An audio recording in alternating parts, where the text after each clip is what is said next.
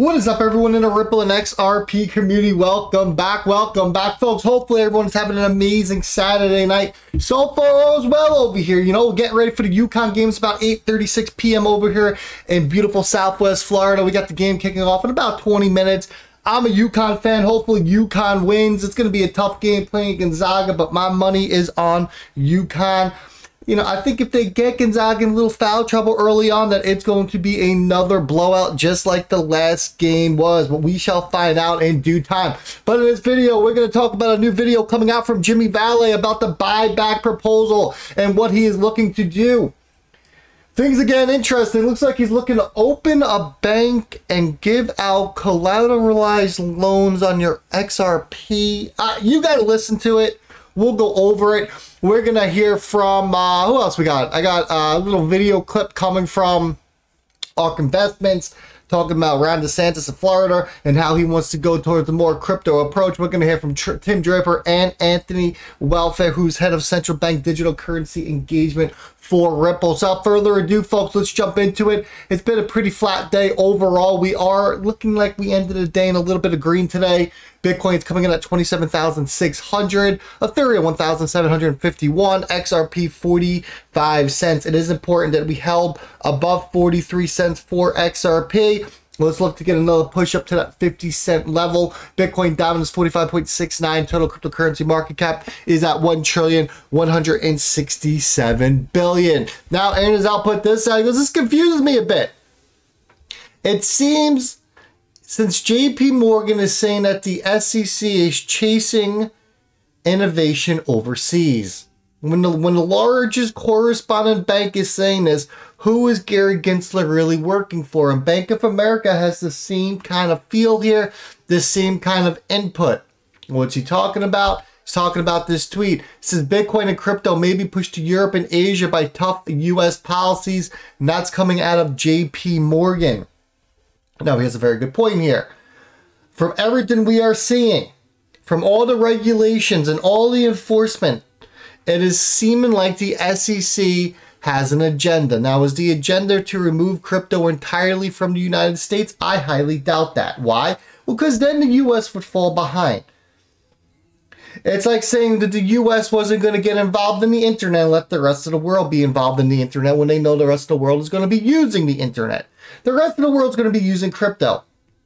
You think the US is going to miss out on this boat? Of course not. But what is the agenda? What is the bigger play here? It really seems to me like the SEC is trying to crack down and trying to take control of these markets. Are they going to be successful? I don't think so. And the fact of the matter is, is that Gary Gensler suing people like Justin Sun. What do they care?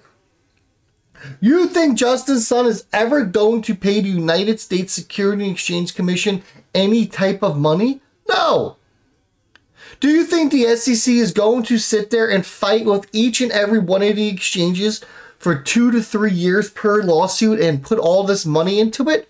Of course not.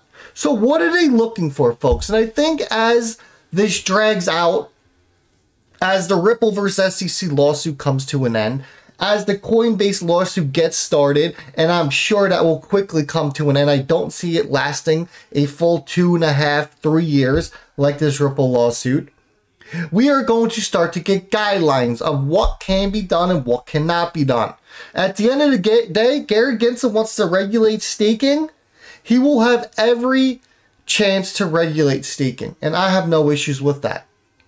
But if he's going to sit there and try to regulate what these exchanges can sell and can't sell and not tell them the rules, the guidelines, the laws, then we have a problem with it. And that is when you will start to see companies leave and push out of the US because they don't know what's right and they don't know what's wrong.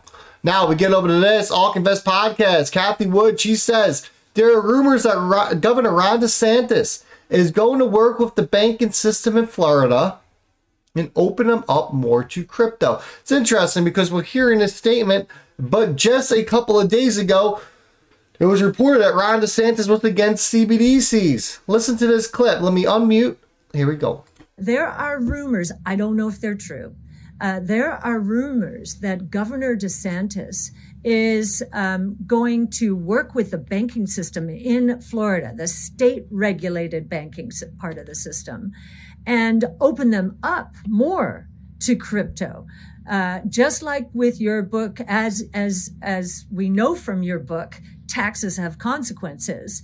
Uh, if he were to do something like that, or any other government, uh, then uh, I think you would see a huge migration of the crypto digital asset world into Florida and into Florida I banks. To- I would love to see it out here. Bring it. Listen, I would love to go to my bank and have them have my crypto. I'll tell you right now, I have no problem. If the bank is insured and the bank of them wants to hold my crypto and pay me out with it, I trust my bank more than I would trust an exchange to get crypto, right? Look at some of these exchanges people were out there staking on. People got destroyed.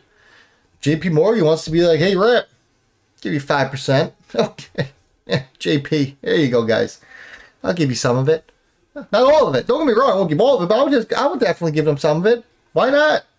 It's a risk. It's the same risk that you take on these exchanges and when while you stake, but why not have a risk that is actually backed? Crypto puts this out. It says, Shields, it appears the XRP buyback is morphing into a bank. Looks like participants will still be sending their XRP. Not a game I want to play with my XRP. Listen to this.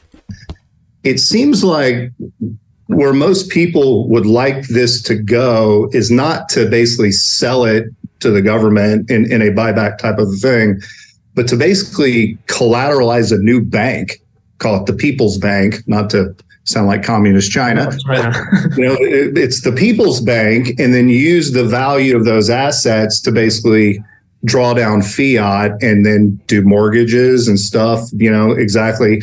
And because this bank is more liquid because it's got the XRP, you can you can do things. So, you know, one thing you could do, yeah, one um, thing you could do is have a group of people come to an agreement that the fair market value of XRP is very high. Let's say ten thousand dollars we could all come together, put our $10,000 tokens into a new entity, collateralize it, then use fiat loans against our XRP to go acquire gold and bring gold into the bank. And now all of a sudden, when the collapse finally occurs, who's left standing with the gold and the XRP? Mm. The most liquid, wealthiest bank there is. So that's the game that everyone's trying to play right now. The central banks are trying to do it. You know, everybody knows the power of this these digital assets. Yeah. That's why that's why the government is is uh, is trying to keep us out of it, right? With the SEC lawsuit.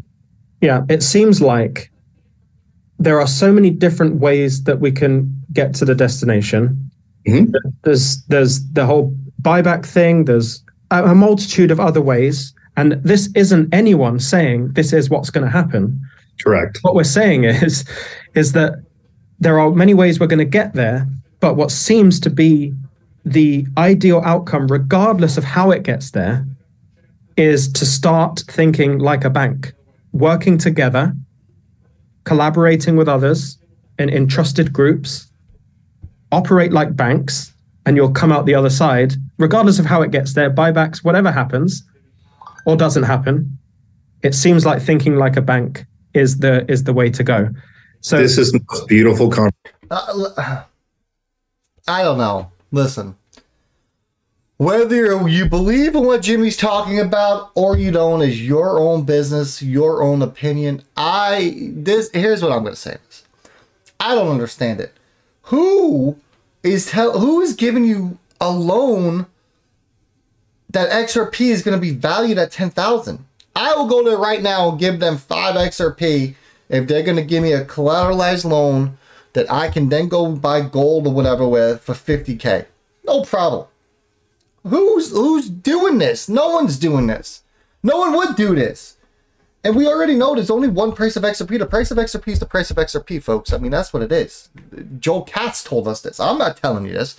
David Schwartz told us this. Are there private ledgers and public? Of course. We know there are. The central banks are using the private ledgers, and then we have public ledgers, but it's still the same ledger at the end of the day, right? Tim Draper, not exactly Taylor Swift, but the message is clear. Tim Draper sings his song, the Bitcoin Shuffle at the Paris Blockchain Summit. I'm not going to play you his song and put you through. You don't need to listen to it. But here is what's important. Tim Draper is the man that told you how this is all going to play out. First, they attack. Then they come after you. And when they're doing, they're done doing all that, bing, bada, boom, they act like the, the problem was never a problem. Then they get on board, then they adopt, and then they start using. This is what how it's all being played out with Ripple currently, folks. Ripple Pulse says Coinbase is really leading the way. What they have built is astonishing. What they are still building is even more incredible. Can't disagree with him here. Coinbase is leading the way in the US. It's kind of sad that they only have 32,000 weekly visits to their website. Figured it'd be a lot more. Anthony Welfare from Ripple. Back in 2017, I joined the world of blockchain and presented my first ever blockchain, blockchain, excuse me, presentation on the 14th at the Tech Meetup in BC, Canada. Here are a few highlights. The fundamentals of blockchain tech has not changed. People still misdefine blockchain. We're talking about Web 3.0 back in all the way back in 2017. The last three slides of the market cap increase, I was excited to tell people the market cap was 200 billion. I was here when the market cap was 200 billion. I thought it was going to fall back under 100 billion. Bitcoin was 8,000, Ethereum was 400. The good old days. And I, I'll be here until this market cap is 5 to 10 trillion, folks. I'm not going anywhere. XRP isn't going anywhere. Crypto isn't going anywhere. Know what you hold. Wash your damn hands. Be nice. Be kind of each other. Ripple Van Winkle is out.